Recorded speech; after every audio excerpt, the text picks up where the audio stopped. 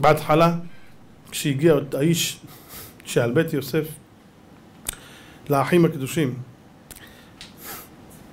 הם לא ידעו שזה נמצא אצל מישהו, הם לא האמינו שמישהו גנב. והם אמרו באמת, אם זה יקרה כך, אין דבר כזה, אנחנו נשלם. אבל כשהם ראו שנמצא גביע באמתחת בנימין. השבטים, רבותיי, חיים עם מחשבה אחרת משלנו. לא מחשבותינו מחשבותיהם, ולא דרכינו דרכיהם. זה אנשים, רבותיי, שסולם מוצב ארצה וראשם מגיע השמיימה. המחשבות שלהם זה מחשבות קודש, מחשבות של אמונה, לא מחשבות של רחוב. אתם יודעים, אני, אני תמיד אוהב ל, ל, ל, לתקן את, ה, את, ה, את העיוות הזה. אתם יודעים, אנשים אומרים, כן, אתה רואה את המדרשים, אז אתה מתאר לעצמך את, את, את, את, את הסרט, את השבטים הקדושים כמו איזה כנופיה מיפו, כנופיה מבת ים, אתה יודע, באים לפרק, שוברים בקבוקים, ווואלה, אה, נחנג'ר אותך! ככה זה נראה. תגידו לי, זה נראה לכם בני יעקב? ממש לא.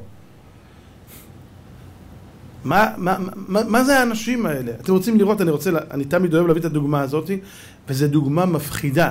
עד כמה האנשים האלה שלטו בעצמם. רבותיי, זה לא אנשים שיש להם עצבים, והם עצבנים, והם הופכים שולחנות. הם יכלו להחריב את כל מצרים, זה נכון.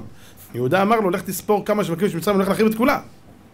הוא הגיע עם יוסף עד הקצה האחרון. המדרש אומר שכשיוסף ויהודה התווכחו ביניהם, אמרו מלאכי השרת זה לזה, בואו ונרד למטה, ונראה מלחמה בין שור לבין אריה, בנוהג שבעולם.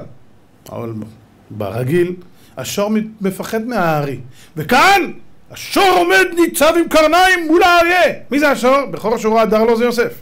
מי זה יהודה? גור אריה יהודה יזנק מן הבשן. בואי נא! מה הולך כאן? וואו וואו וואו וואו איזה מלחמה. ויוסף מושך את זה, ממש במדרש אומר סכנה, עד הקשקש. זה היה רגע לפני חורבן. עכשיו אני שואל, באמת זה, זה, זה, זה, זה, זה התמונה של השבטים שלנו?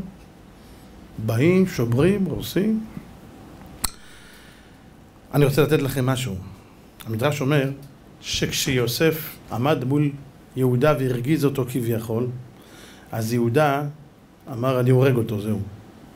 הוא בא להוציא את החרב, הוא בא לשלוף אותה, והחרב נתקעה לו. הוא בא עוד הפעם לשלוף אותה, והחרב נתקעה לו. בא פעם שלישית לשלוף, והחרב נתקעה לו.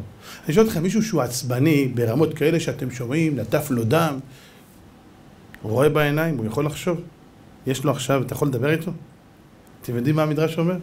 שבפעם השלישית הוא ניסה להוציא את החרב ולא הצליח. אתם יודעים מה הוא אמר לאחים שלו?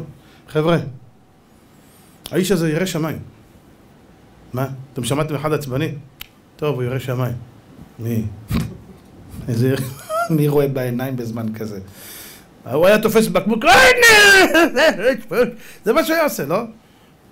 רבותיי, יהודה עוצר ואומר להם, חבר'ה, הוא ירא שמיים, החרב לא יוצאת לי. אז אני רוצה שנבין על מי מדובר בכלל.